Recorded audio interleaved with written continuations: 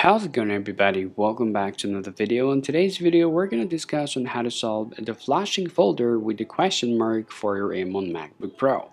Well, if you see that your Mac is giving you the question mark with the folder, you got to know why this happens and you have to know how you can solve this problem. Now, this problem mainly happens for missing operating system, failure updates, and corrupted settings. If you want to solve this problem, the first troubleshooting process you want to go through is the SMC, okay? Now, SMC basically stands for System Management Control. Now, if you want to reset your SMC, all you have to press is Shift, Command, Option key, and press and hold your power button on your Mac.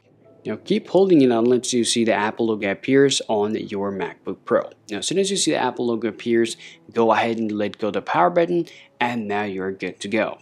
Well, now resetting your SMC on your M1 Mac, if that doesn't really help you to solve your problem, then the next things you have to do, you need to reinstall your Mac OS on your MacBook Pro. Reinstalling your macOS will solve the problem especially if there is an update failure or if there's any file missing from the operating system. Now if you want to reinstall your macOS, the first things you gotta do just go ahead and press and hold the power button. Now press and hold your power button and keep it holding unless it says loading setup option. Now click on option or just choose option and click continue.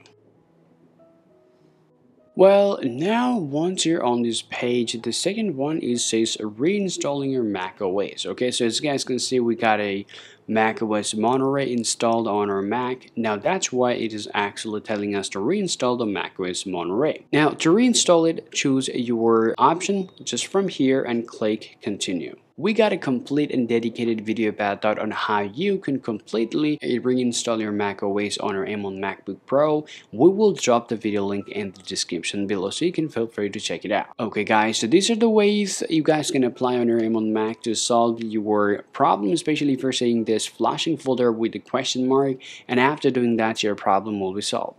Hope you find this video useful, if so drop a like and subscribe to the channel. Thanks for watching and we'll talk to you later.